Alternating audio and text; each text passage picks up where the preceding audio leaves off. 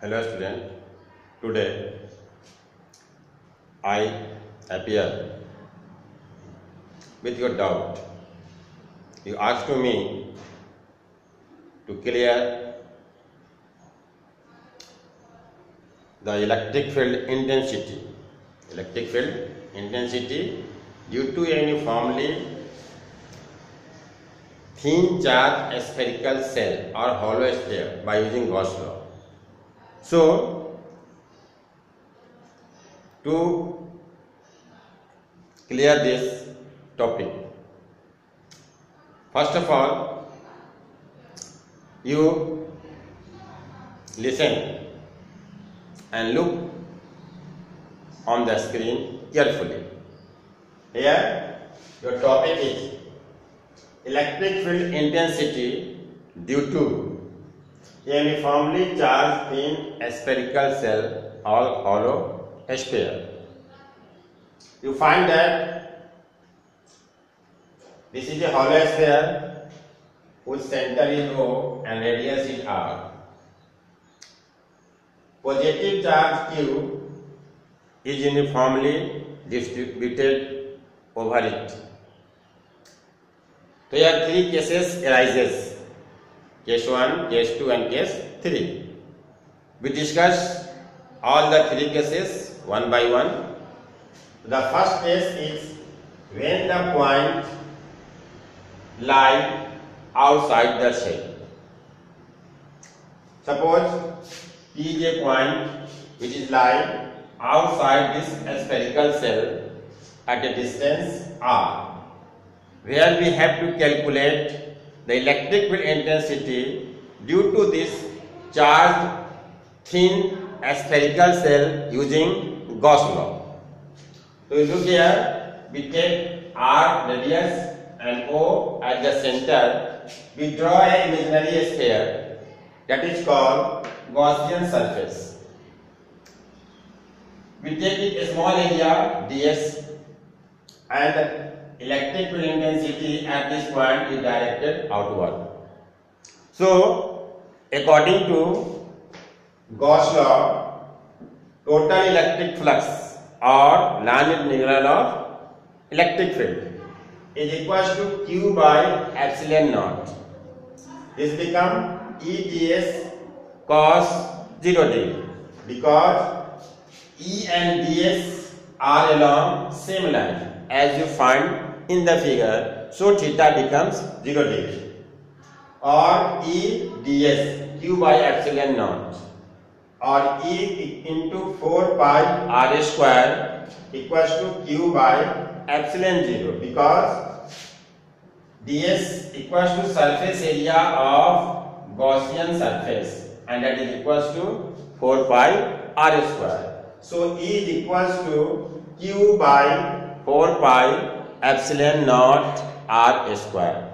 This is the required expression of electric field intensity due to this charge thin spherical shell at a point lie outside the shell. Now we discuss the case 2 when the point P lie on the shell. Lie on the shell. Look here. In this case,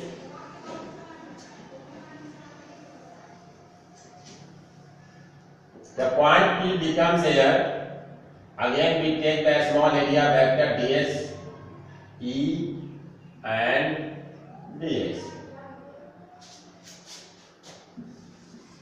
Clear? So, as we find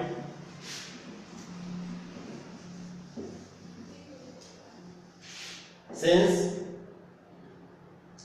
E is equals to Q by 4 pi epsilon naught R square. Clear? So here R is equals to R. So E is equals to Q by 4 pi epsilon naught R square if sigma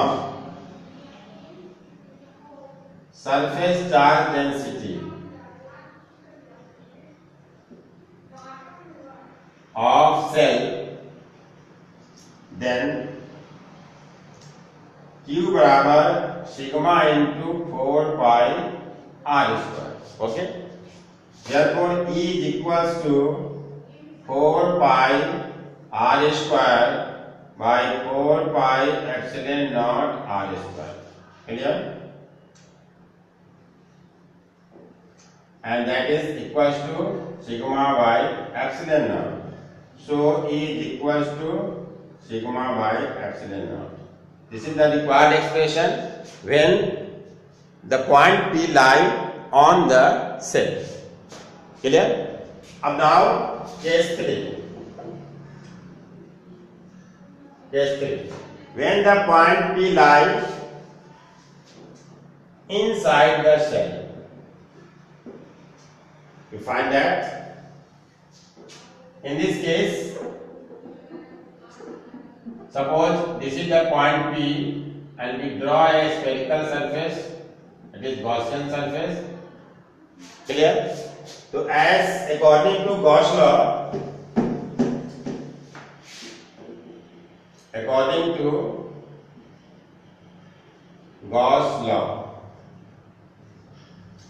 line of magnetic field E dot ds equals to q by epsilon naught.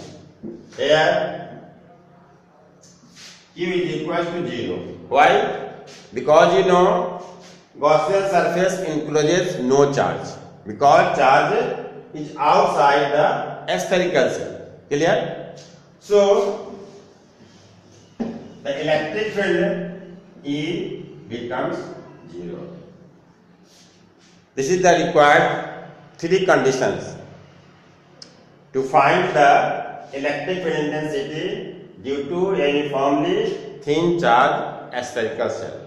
I hope you will understand. Then thank you.